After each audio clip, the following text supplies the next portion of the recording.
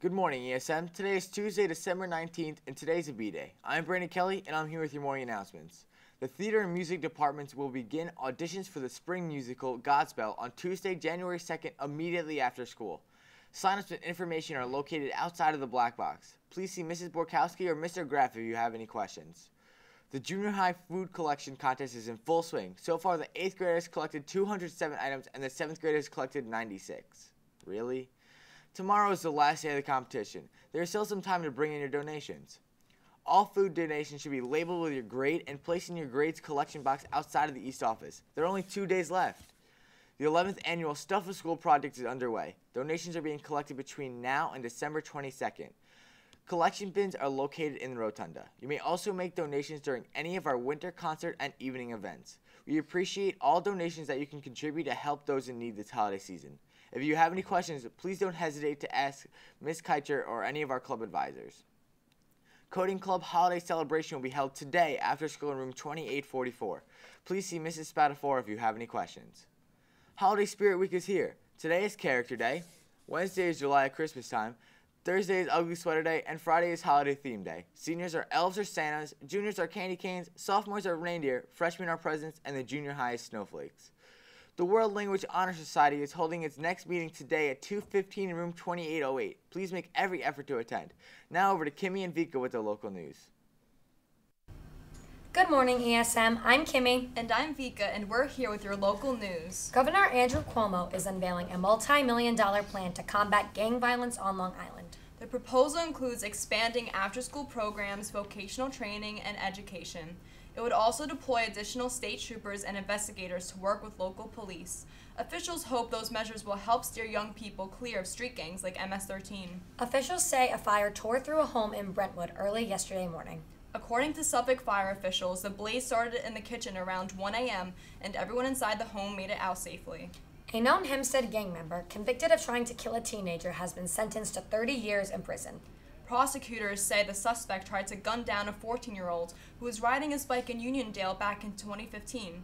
The victim is now a quadriplegic, and one doctor says he'll likely never walk again. In other news, state police say a state trooper was struck by a car while helping a driver on the off ramp of the LIE to Sagtikos Parkway. The trooper pulled over on the ramp around 2:30 p.m. to help a disabled motorist when another driver struck him. The driver remained at the scene and no charges have been filed in the crash. The trooper was taken by ambulance to Southside Hospital, where he is listed in critical condition and is undergoing surgery. His identity has not been released. A judge has issued a warrant for a Brooklyn couple who ran a cancer scam on Long Island.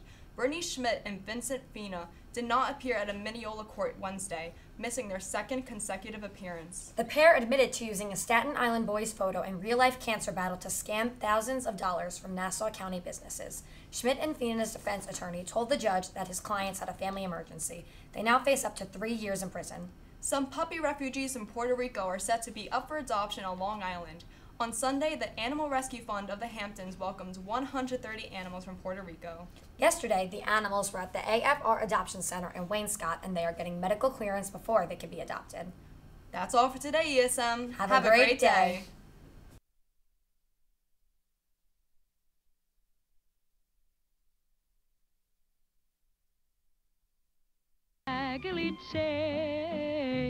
How much is that doggy in the window?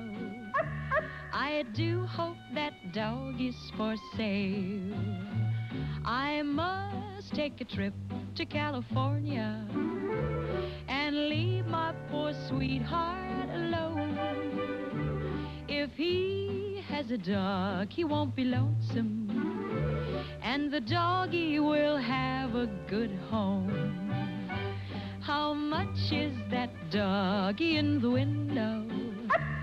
The one with the waggly tail. You know Dasher and Dancer and Prancer and Vixen, Comet and Cupid and Donner and Blitzen. But do you recall the most famous reindeer of all? Rudolph the red-nosed reindeer had a very shiny nose. And if you ever saw it, you would even say it glows. All of the other reindeer used to laugh and call him names. They never let poor Rudolph join in any reindeer games. Then one foggy Christmas Eve, Santa came to say, Rudolph, with your nose so bright, won't you guide my sleigh tonight? Then how the reindeer loved him as they shouted out with glee.